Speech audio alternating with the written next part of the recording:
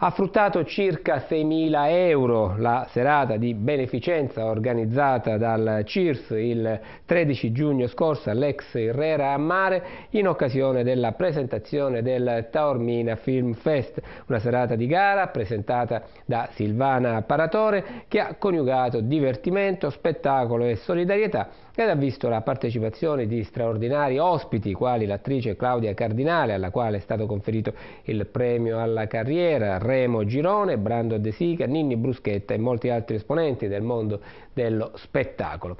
Con la cifra ricavata il CIRS attiverà due borse lavoro nel settore cucina e sala della durata di 5 mesi.